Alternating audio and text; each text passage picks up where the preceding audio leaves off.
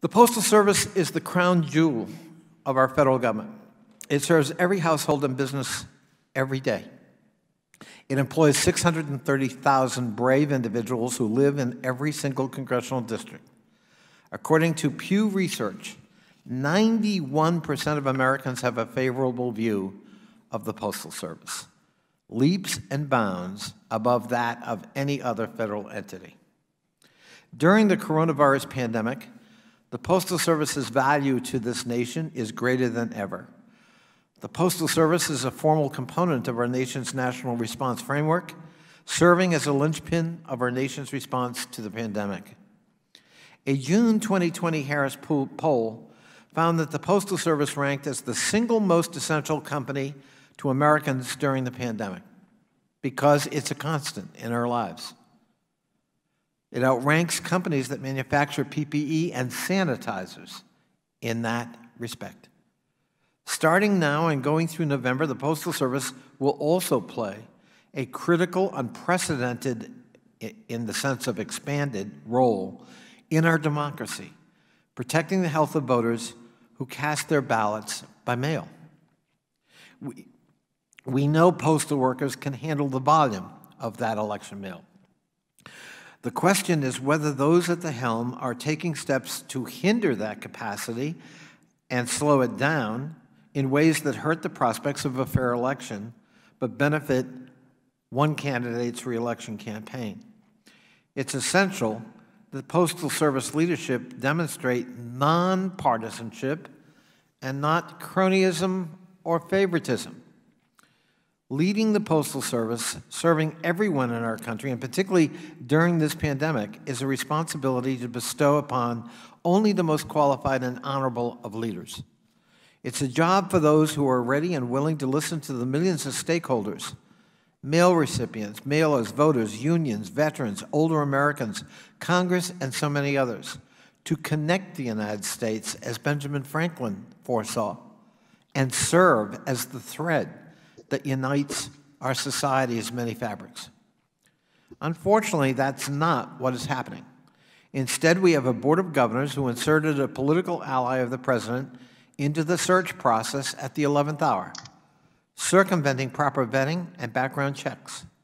We have a crony at the helm of our nation's postal service, a man rife with conflicts of interest and potential violations of law, even. We have a Postmaster General who would benefit financially if the Postal Service contracts out its services and sprints toward privatization. He who would benefit financially and politically if mail in ballots are delayed or undelivered. That, that would be unacceptable under any circumstance.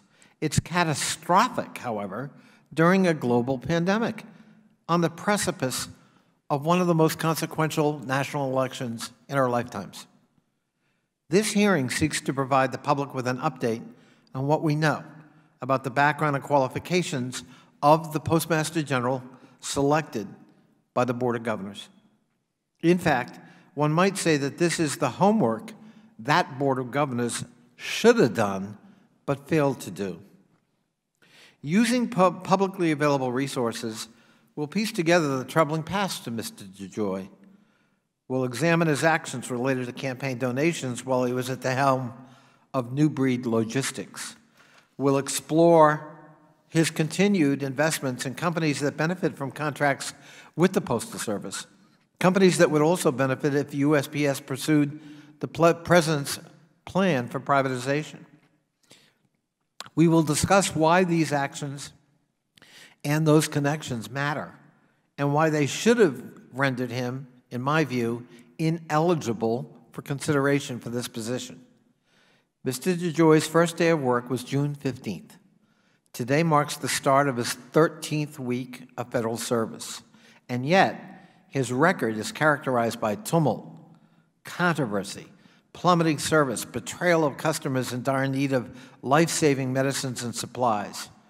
But the trucks are on time, albeit with the mail often left behind. So there's that.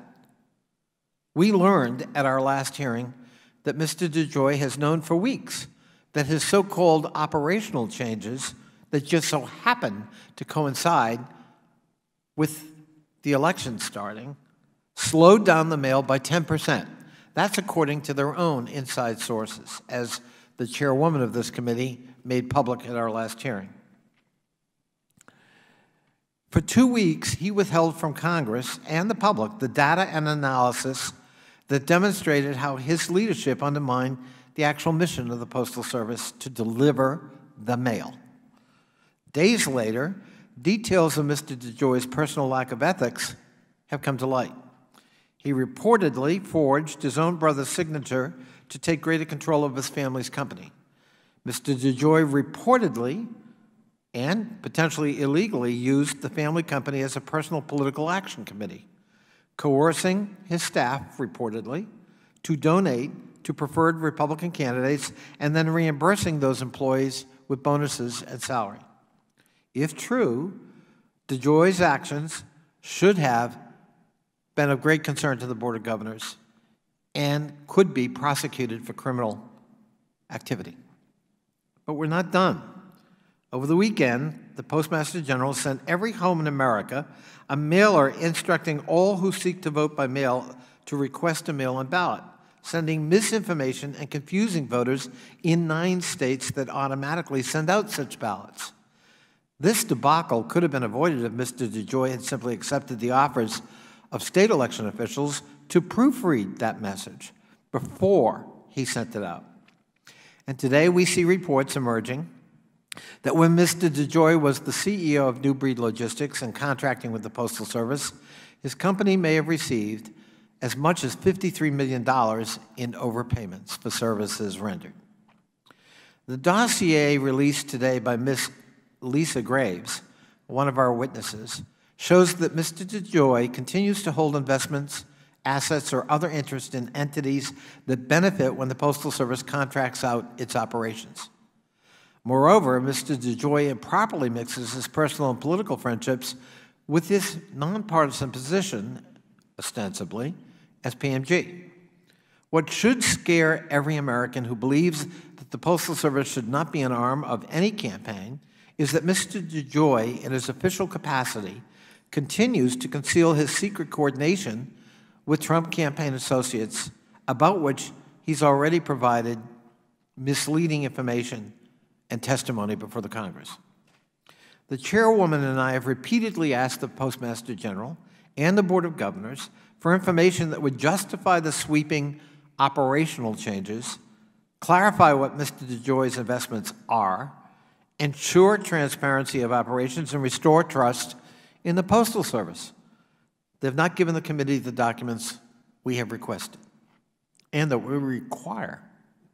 On September 2nd, Chairwoman Maloney issued a subpoena compelling Mr. DeJoy to produce a wide range of documents, including those previously requested and a list of contacts, all contacts, with Trump campaign affiliates and individuals.